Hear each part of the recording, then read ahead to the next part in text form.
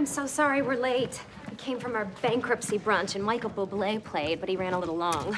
I love Michael Bublé. Was a bankruptcy brunch the best idea? Sure, let's not have brunch. like animals.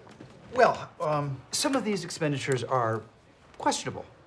Uh, you filled the public pools with bottled water? Total body hydration. What is this here? This massive expenditure from Public Works? Ah, yes. Well, yes. We purchased HBO for the whole town. I'm sorry, you spent government money on a TV subscription? It's not TV. All right. Uh, Leslie's put together a presentation for financial recovery. Great. You may find it very informative.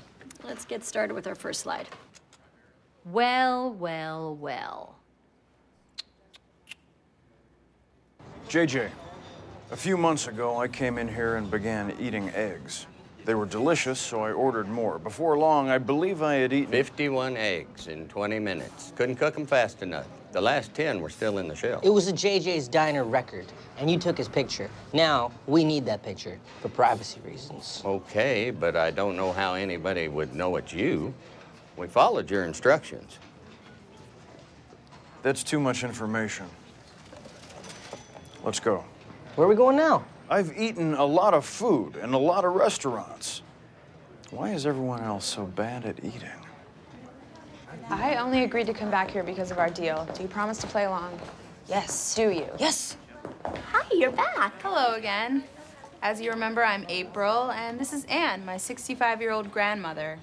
Yes, that's who I am. Anyway, we'd love to hear about Bloomington. It seems like a real hip kind of college town. Me, Ma? God, no one uses the word hip anymore. Sometimes I wish you went down on the Titanic with all your sorority sisters. I would be happy to show you guys around the campus. Is there anything in particular that you want to see? How are your local graveyards? I have some planning to do. You blew it. Super hard. Complete buffoonery.